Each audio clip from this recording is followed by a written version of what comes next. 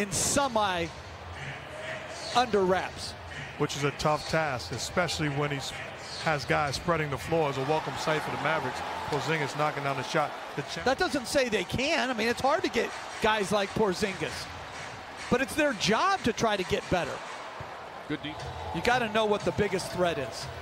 Porzingis wants it. Now he has Harden on him.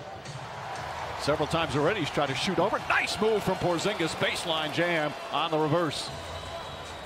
You're talking about the smaller James Harden, who's a very good post defender. Gets hit, but a good aggressive move by Porzingis. I like the mindset of attacking on the offensive end, put him in position to post, and win that match. I wonder why it's different. Each team has some different protocols. Green shot one. The 6'4 Brown is on Porzingis. And a foul called on Brown. But, but that that's so smart. Like you get a, a, a small guy on you, don't try to like back him in. Just shoot over him. He did this earlier. He just faced, shoots over him, and clearly gets fouled.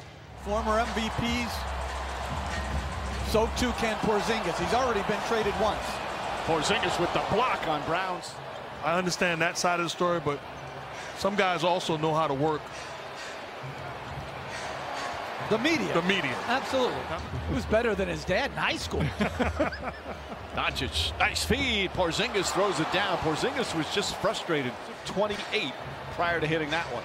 And that's a great shot by Brown.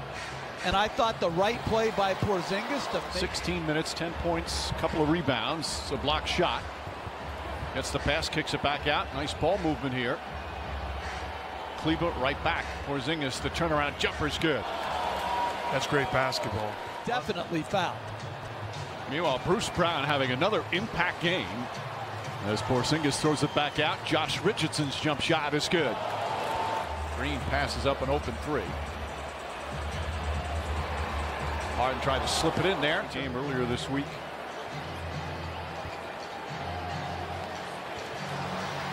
Porzingis drills the jumper. Washington, Rick Brunson brings little Jalen to the game wearing a Michael Jordan jersey and brings the six-year-old over and asks Jordan to sign the jersey. First couple of games this week for the Nets to have real fans back in the building. Porzingis catches it low, draws the foul, and one. That's great offense on the perimeter and a great seal by Porzingis. Post game should be.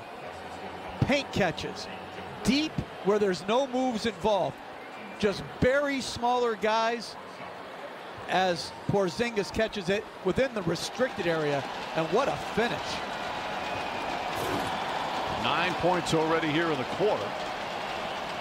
So double figures in the quarter, 18 for the game for Porzingis. Returning after missing three games, they'll let it go out. And the eight-game winning streak comes to an end as Luka Doncic and the Mavericks come into Brooklyn and just absolutely pound the Nets in the second half. They win it by 17. Back to 500 at 16 and 16. They welcome.